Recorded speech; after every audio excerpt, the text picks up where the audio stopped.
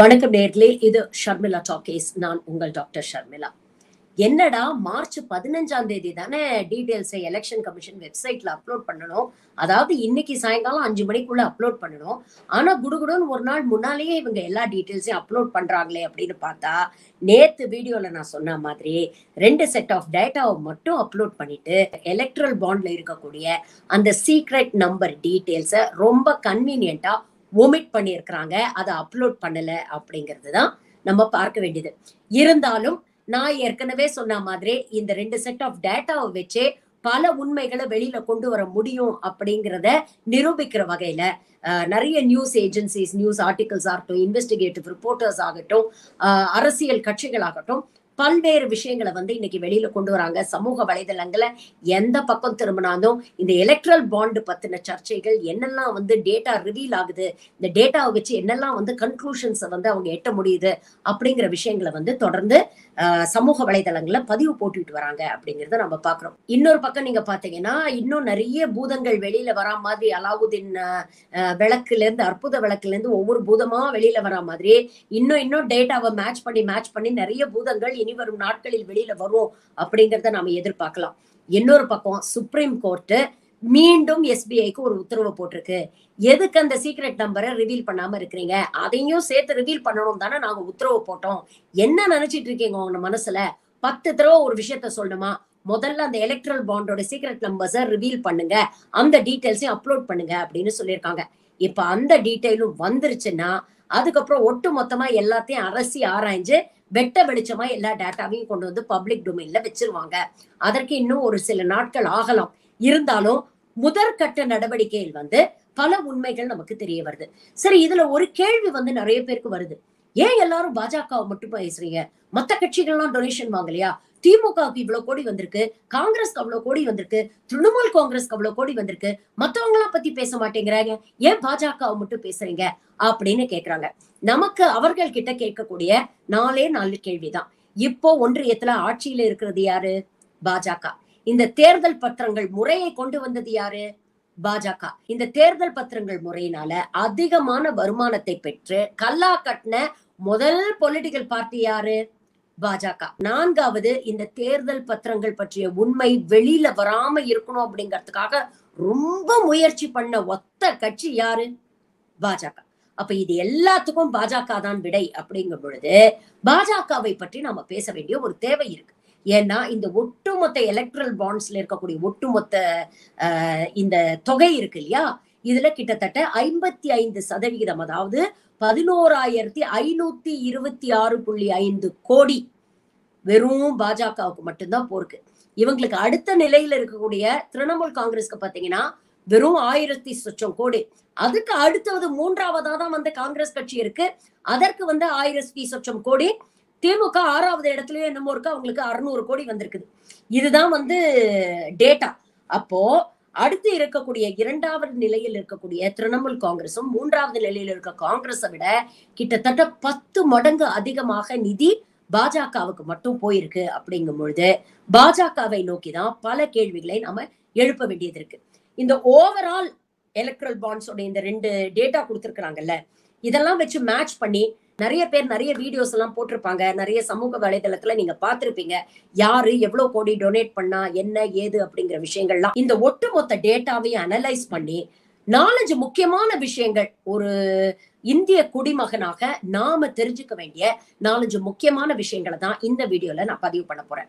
April இரண்டாயிரத்தி பத்தொன்பதுல இருந்து இந்த கடந்த பிப்ரவரி மாதம் வரைக்கும் பாஜகவுக்கு மட்டும் கிட்டத்தட்ட ஆறாயிரம் கோடிக்கு மேல வந்திருக்கு அப்படிங்கறத இந்த டேட்டாவை வச்சு நம்ம பார்க்க முடியுது. இரண்டாவது முக்கியமான விஷயம் என்ன அப்படின்னு பாத்தீங்கன்னா நான்கு முறைகளை வைத்து இந்த பாஜக இந்த வருமானத்தை ஈட்டி இருக்கு அப்படிங்கறத பாக்குறோம் இது வருமானம் தான். இதை வந்து டொனேஷன்லாம் அப்படின்னு சொல்ல முடியாது. இதெல்லாம் வந்து ஒரு கலெக்ஷனை போட்டிருக்கிறாங்க. எப்படி நாலு விதமா இந்த கலெக்ஷனை போட்டிருக்கிறாங்க அப்படிங்கறத பாருங்க. நம்பர் ஒன் குவிட் ப்ரோக்வோ அப்படின்னு சொல்றாங்க இல்லையா? ஒரு கம்பெனி வந்து எலக்ட்ரல் பாண்ட் மூலமா பாஜகவுக்கு டொனேட் பண்ணுது. உடனே கொஞ்ச நாள்ல பாத்தீங்கன்னா அவங்களுக்கு வந்து ஏதாவது ஒரு பெனிஃபிட் இந்த பாஜக அரசாங்கம்னால கிடைக்குது. ஏதாவது ஒரு கான்ட்ராக்டோ இல்ல லைசன்ஸோ ஏதாவது ஒரு ஒர்க்கோ அவங்களுக்கு கிடைக்குது. இரண்டாவது முறை என்னன்னா நம்ம வசூல் ராஜா ஸ்டைலு தான். அதாவது கம்பெனியை வந்து டார்கெட் பண்ணி இவன் தான் டார்கெட்னு ஃபிக்ஸ் பண்ணிட வேண்டியது. அவன் மேல வந்து இடியோ சிபிஐயோ ஐடியோ வச்சு ஒரு ரெய்டை நடத்த வேண்டியது. ரெய்டு நடத்தணும்னா அவன் வந்து காலில் விழுவான். அவன் கிட்ட பேரம் பேசி இவ்வளவு அமௌண்ட் எனக்கு நீ எலக்ட்ரல் பாண்டு மூலமா கொடுத்துரு. நான் உன்னை ப்ரொடெக்ட் பண்ணிடுறேன். கிட்டத்தட்ட ப்ரொடெக்ஷன் மணி தான். இந்த ரவுடிஸ் எல்லாம் வாங்குவாங்க இல்லையா? அந்த மாதிரி ப்ரொடெக்ஷன் மணி வாங்கியிருக்கிறாங்க அப்படிங்கறதான் நாம பார்க்க முடியுது.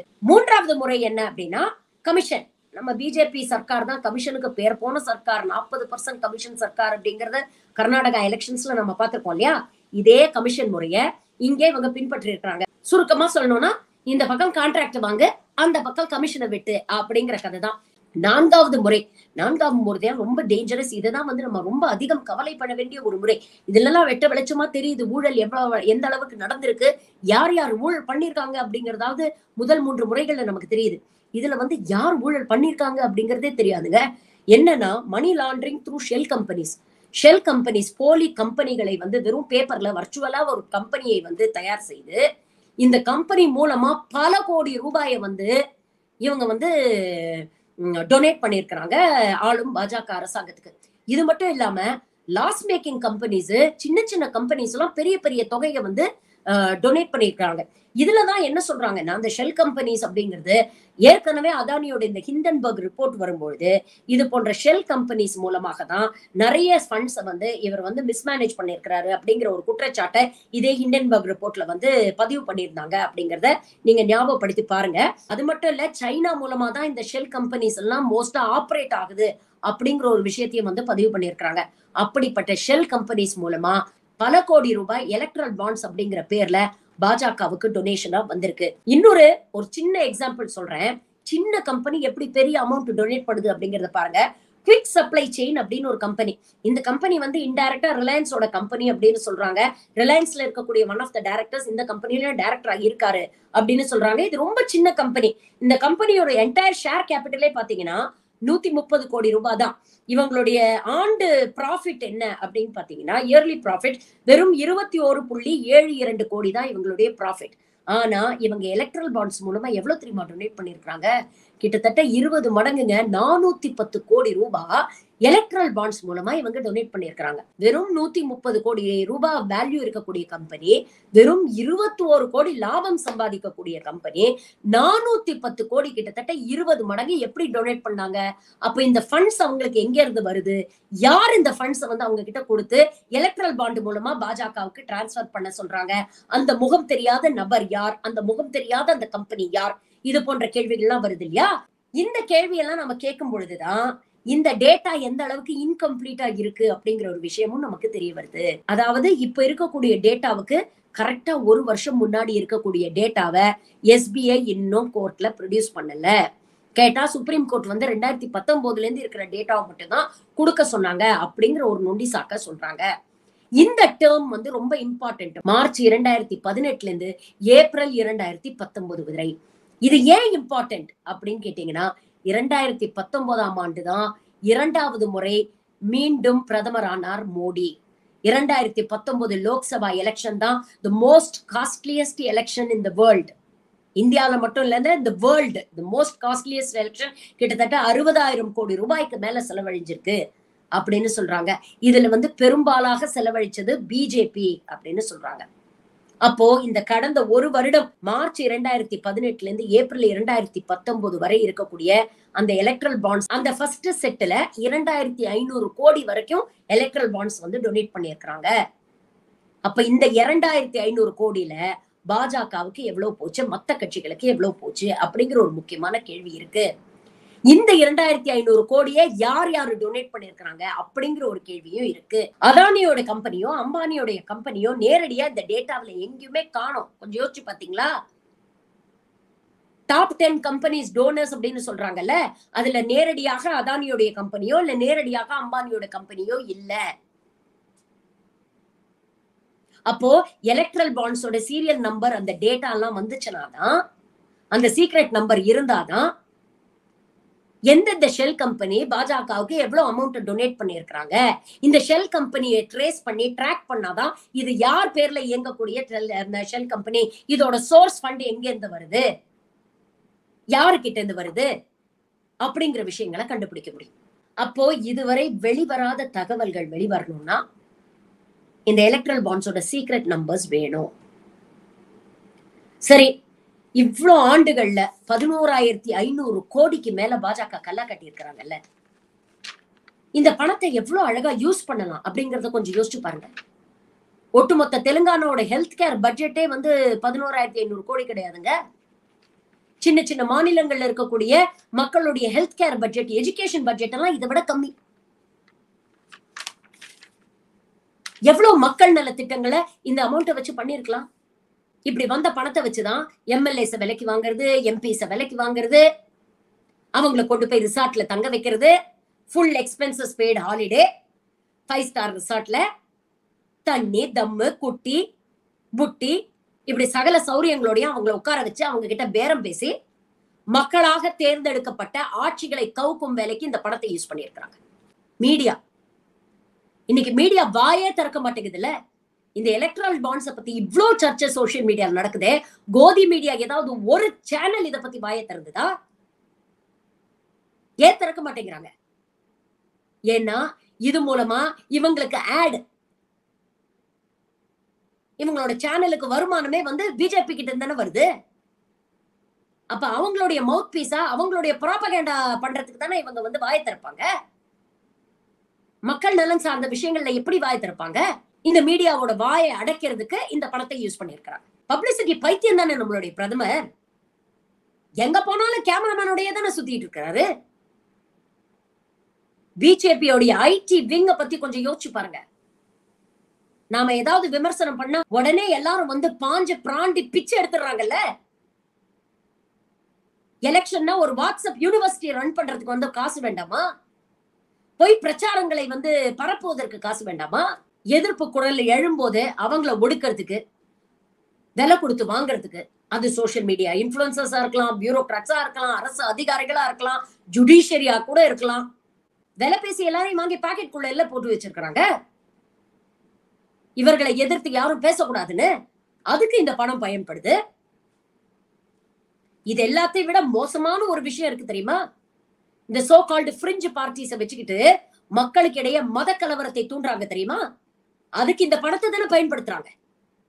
எங்கேயாவது ஒரு இடத்துல ரேலி போக சொல்ல வேண்டியது கத்திய தூக்கிட்டு ஊர்வலம் போவாங்க மாஸ்க் மேல ஏறி சாஃப்ரன் பிளாக வைப்பாங்க முஸ்லிம்களுக்கு எதிராக ஸ்பீக்கரை போட்டு வன்மத்தை வந்து கக்குவாங்க.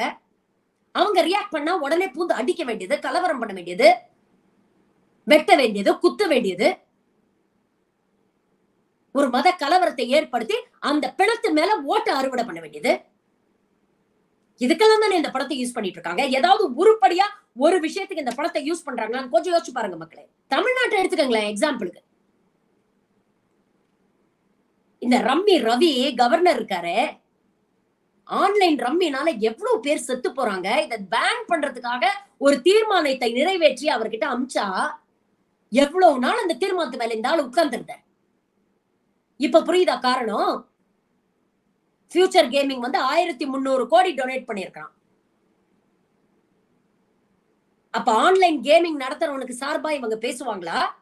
இல்ல மக்களுடைய நலன் சார்பா இவங்க பேசுவாங்களா? இவங்களுக்கு என்ன கவலை? எவன் தற்கொலை பண்ணிக்கிட்டா நமக்கு என்ன?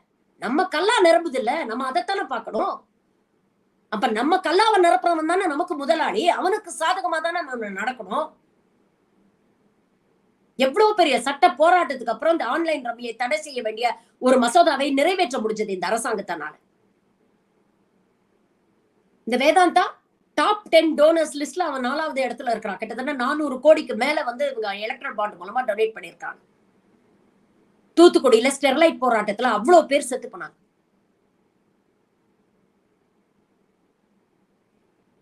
அதை மூடி மறைக்க இந்த அரசாங்கம் என்னெல்லாம் முயற்சி பண்ணாங்க? பாஜகவும் அதிமுகவும் சேர்ந்து எப்படியெல்லாம் முயற்சி பண்ணாங்க? அதை திசை திருப்பத்துக்கு இதெல்லாம் நீங்க கஷ்டப்பட்டு உழைச்சு சம்பாதிச்சு ஜிஎஸ்டியா வரி கட்டுற பணம்.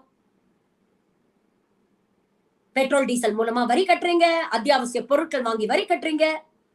சிலிண்டர் வாங்கி வரி கட்டுறீங்க. ஹாஸ்பிட்டல போய் மருந்து செலவுக்கு மருந்து வாங்கினீங்கன்னா வரி கட்டுறீங்க. நீங்க கஷ்டப்பட்டு உழைச்சு சம்பாதிச்சு கட்டுற வரியில தானே இந்த கார்பரேட்டுகளுக்கு வந்து இந்த பிஜேபி அரசாங்கம் இவ்வளவு சலுகைகளை கொடுத்தது? அப்ப இது எவ்வளவு வின் வின் சுச்சுவேஷன் எவ்வளவு மியூச்சுவலி பெனிஃபிஷியல் ரிலேஷன்ஷிப்னு கொஞ்சம் யோசிச்சு பாருங்க. சும்மாவே கார்பரேட் இவ்வளவு கோடியை தூக்கி கொடுத்துருவானா? அவன் என்ன முட்டாளா? ஏதோ ஒரு பெனிஃபிட் வருது அப்படிங்கறதுனால தானே கொடுக்குறான். அப்ப என்ன பெனிஃபிட் வருது? இவங்களுக்கு பணம் வருது அவங்களுக்கு கான்ட்ராக்ட் போகுது அவங்களுக்கு டாக்ஸ்ல கன்செஷன் கொடுப்பாங்க. நம்ம மேல வரியை ஏத்திக்கிட்டே இருப்பாங்க அவங்களுக்கு கன்செஷன் கொடுத்துக்கிட்டே இருப்பாங்க. இது மட்டும் இல்லாம நம்மளோட வரி பணத்துல இருந்து இந்தாப்பா வச்சுக்க லோனு நீ திருப்பி கட்டலைன்னா கூட பரவாயில்ல. தயவு செஞ்சு எங்கேயாவது ஓடி போயிரு. நாங்க கேட்க மாட்டோம் நாங்க ரைட் ஆஃப் பண்ணிக்கிறோம். இதைத்தானே கேட்டோம் ஏமா அப்பம் வீட்டு காசுன்னு? பன்னெண்டு லட்சம் கோடி வந்து கார்பரேட்டுகளுக்கு வரியை வந்து உங்களால வேவ் ஆஃப் பண்ண முடியுது ரைட் ஆஃப் பண்ண முடியுது லோன்ஸ இங்க பேரிடர்ல அவ்வளவு மக்கள் தவிக்கிறாங்க வாழ்வாதாரத்தை இழந்து வாழ்க்கையை இழந்து தவிச்சிட்டு இருக்காங்க. எங்களுக்கு நிவாரண நிதியா கொடுங்கன்னு கேட்டா ஒத்த பைசா கொடுக்க வக்கில்ல இந்த பாஜகவுக்கு. இந்த கேள்வியெல்லாம் எப்போ நீங்க கேட்க போறீங்க அரசாங்கத்தை நோக்கி? உங்க வரி பணம் தானே? உங்க பணம் தானே? உங்களுக்கு இல்லாத உரிமையா? நீங்க நியாயமா தெரிஞ்சுக்க வேண்டிய இந்த தகவலை எவ்வளவு வருஷமா உங்ககிட்ட இருந்து மூடி மறைச்சிருக்காங்கிறத கொஞ்சம் யோசிச்சு பாருங்க. எலக்ட்ரல் பாண்ட் மூலமா மட்டும்தான் இவ்வளவு ஊழல். இன்னும் பிஎம் கேர்ஸ் ஃபண்ட் இருக்கு. அத பத்தி இன்னும் நம்ம பேசவே இல்ல. இந்த படத்துல இருந்து எவ்வளவு பணத்தை வந்து இவிஎம் மேனிப்புலேஷனுக்கு யூஸ் பண்ணியிருக்கிறாங்களோ பத்து வருஷம் ஆட்சியில இருந்து இன்னைக்கு நாடு பூரா ஒவ்வொரு மூலையிலும் ஒவ்வொரு விதமான போராட்டம் வெடிச்சிட்டு இருக்கு. மக்கள் அவ்வளவு அதிருப்தியில இருக்காங்க. இருந்தும் நானூறு நாங்க ஜெயிப்போம் அப்படின்னு சொல்றாங்கன்னா என்ன கான்பிடன்ஸ்ல சொல்றாங்கன்னு கொஞ்சம் யோசிச்சு பாருங்க. அதீத அதிகாரமும் அதீத பணமும் ஒரு குறிப்பிட்ட நபர்கள் கையில் போய் சேர்ந்தா எப்படி ஒரு ஆரோக்கியமான ஜனநாயகம் கூட இன்னைக்கு சர்வாதிகார ஆட்சியா மாறி இருக்குன்னு பாருங்க. மேடையில பேசுறதுக்கு ஒண்ணும் குறைச்சல் இல்ல மோடி. நான் காவுங்கா நான் கானே தூங்கா நானும் சாப்பிட மாட்டேன் அடுத்தவங்களே சாப்பிட விட மாட்டேன். அடுத்தவங்கள சாப்பிட விடாம தான் ஒட்டு மொத்தமா வாரி வழிச்சு போட்டு முழுங்கி ஏப்ப விட்டுருக்கீங்களே. இனிமே மேடை ஏறி எந்த தைரியத்துல உங்களால பேச முடியும்? ஆனா இவங்களுக்கு வெக்கமான ரோசமே கிடையாது. மீண்டும் மேடை ஏறி இதே சொல்லுவாங்க. நாங்க ரொம்ப யோக்கியனுங்க நாங்க ரொம்ப சத்திய கீர்த்திங்க ஊர்ல இருக்கிற மத்தெல்லாம் தான் அயோக்கியன் அப்படின்னு பேசுவாங்க. இப்ப இந்த நியூஸ் எல்லாம் வெளியில வந்துருச்சுல்ல? எனக்கு சுப்ரீம் கோர்ட் மேல ஒரு சின்ன வருத்தம் உண்டு. இந்த எலக்ட்ரல் பாண்ட்ஸ் டீடைல்ஸ் எல்லாம் வெளியில விடுங்கன்னு சொன்னாங்களே தவிர எலக்ட்ரல் பாண்ட் மூலமா எவ்வளவு ஃபண்ட் கலெக்ட் ஆயிருக்கோ இதெல்லாம் கொண்டு வந்து அரசாங்க கஜானால போடுங்கப்பா. மக்களுடைய பணம் இது. அப்படின்னு ஒரு வார்த்தை இன்னும் சேர்த்து சொல்லியிருக்கலாமோ? அப்படிங்கிற ஒரு ஒரு சின்ன விமர்சனம் எனக்கு வந்து சுப்ரீம் கோர்ட் மேல உண்டு. ஏன்னா இன்னமும் இந்த பதினோராயிரத்தி ஐநூறு கோடி அவங்க கையில தான் இருக்கு. இந்த கூட்டெல்லாம் வெளியில வந்துருச்சு. மக்களிடையே நம்மளுடைய செல்வாக்கு சரிகிறது அப்படின்னு தெரிஞ்சா இந்த பணத்தை வச்சு இந்த பாஜக என்ன வேணாலும் பண்ணும். இனி வரும் காலங்கள்ல பல செய்திகள் உங்களை வந்து தாக்கும். வாட்ஸ்அப் மூலமா வரும் செய்திகளா உங்களுக்கு வரும். இந்த பணத்தை பயன்படுத்தி எப்படியாவது மூன்றாவது முறை ஆட்சியில வந்து உட்காரணும் அப்படின்னு நினைப்பாங்க. Because they have a lot to lose உஷாரா இருங்க மக்களே.